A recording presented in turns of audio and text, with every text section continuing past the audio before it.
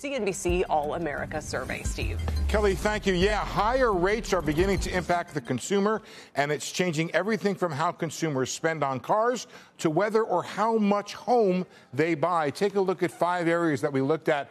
31% say they're more likely to pay off credit cards because of high rates. 47% say they are less likely to get a new credit card.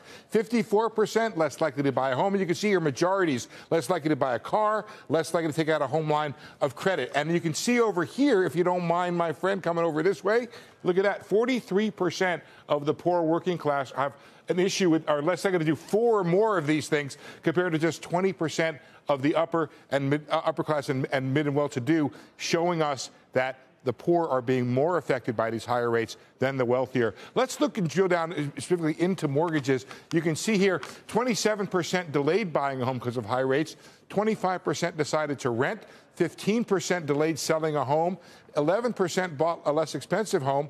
And look at this one 9% say because of higher rates, they turned down a job requiring them to move. So that's a big issue.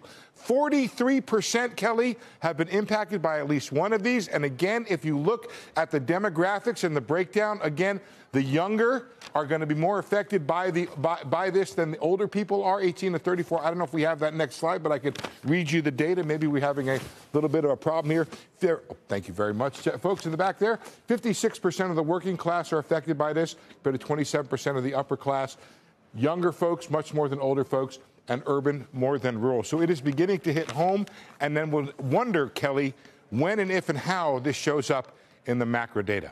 Steve, it's such a, a big deal that you almost wonder. I mean, I don't want to sound crazy here, but should the Fed start cutting rates just to unlock, uh, you know, mobility in the housing market and therefore in the broader economy?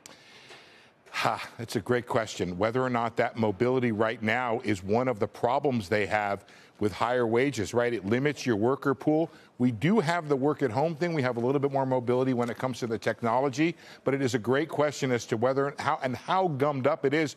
The thing that you said at the beginning in the introduction to this report, Kelly, about the fact that homes are not on the market is a very big deal because let's say you wanted to move, your choices for moving are limited. I don't know about cutting rates, but there's certainly an opportunity for the Fed to not hike anymore. I don't think it'll avail itself next week uh, to start to think about and solve these problems. It is very interesting when we see this data showing how much more poor people are affected by this than the wealthier. No, and now that it's really showing up in a, in a macro way, I'm glad you're documenting it. Steve, thanks very much.